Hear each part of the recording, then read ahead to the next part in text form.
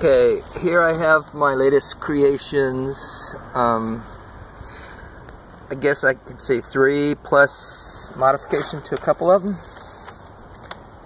And these are my oxalic acid burners. These two, this one and this one, are the original two, which I have since cut off the ends and I don't have enough parts to put another end on this guy, but uh, I'll end up just um, capping it off and call it even. So this will be a single, single, five, four, and four. And I know these two work well. Hopefully those work well too, as much time as I spent cutting all those stupid little connections. You can see this one here. These are an inch and a quarter. These fittings here. And on all the other ones, all these guys, those are uh, uh, just an inch. And also this tube length, this is 8 inches long. And this one, I don't know, I think it was like around 12. It's too long, it doesn't have to be that long. 8 inches, actually 8 and 9 made them a little difference just just for kicks. But uh yeah so the deal is if you see on my earlier videos you fill these up with oxalic acid in here make sure the male part goes down here. That's important. Male part on the bottom. This is bad the female part's on the bottom. That's bad. Bad, bad, bad. So anyway, um, put the male part on the bottom. Use uh, half inch pipe. Half inch everything. Works a lot better. And um,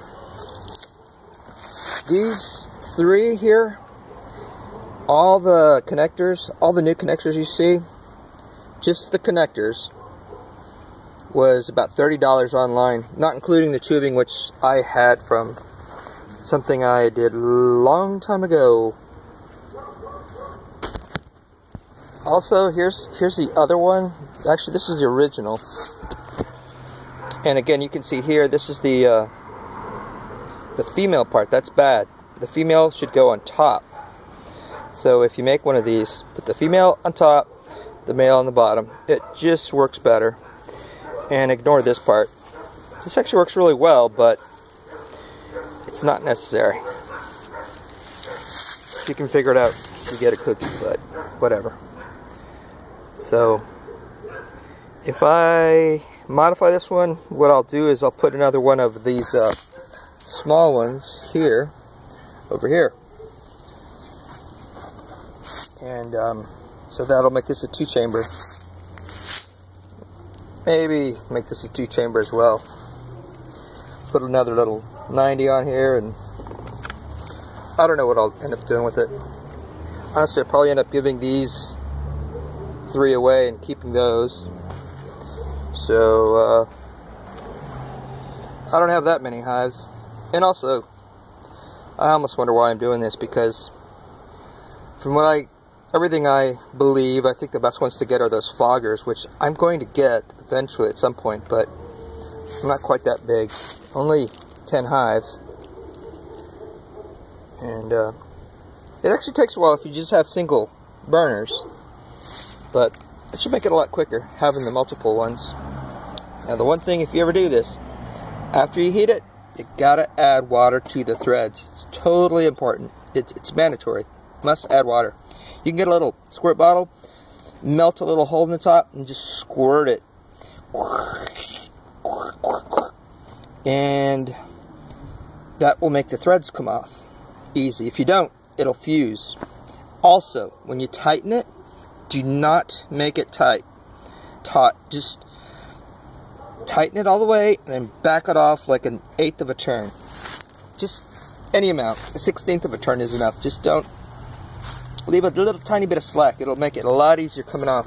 Another quick way, if you have a single burner, is just dunk this entire thing in water. And so, I have to have these welded. Maybe I'll make a video. Yeah, I'll make a video. How it comes out. And, uh, yeah. This sure do look pretty, like all shiny like that.